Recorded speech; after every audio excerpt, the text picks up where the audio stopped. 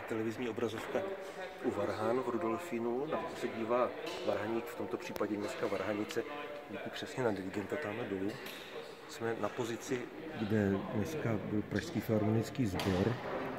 Byli jsme na koncertě, kterým Česká filharmonie za pomoci Pražského filharmonického sboru zahájila svoji sezonu. A byl to naprosto výjimečný program, protože byla na programu tedy jenom pouze a jediná skladba.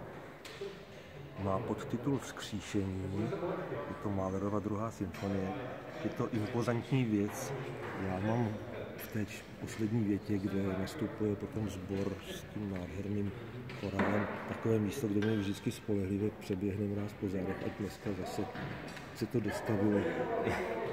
Je to prostě impozantní hudba skladatele, který je trošku český, protože se narodil na Vysočině, můžeme si ho přivlastňovat a pokud bude Česká filharmonie s Pražským filharmonickým sborem právě tuhle tu skladbu hrát 28. října v New Yorku na výročí republiky, tak to bude mít symboliku velikou, protože to bude tedy ten český, nečeský skladatel z Čech.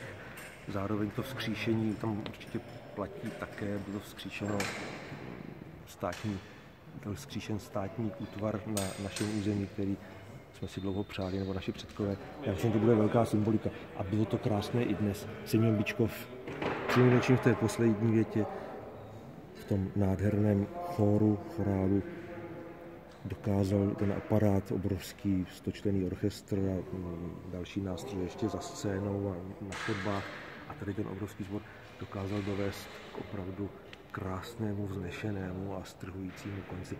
Takže to bylo zahájení České filharmonie a my jsme byli u toho.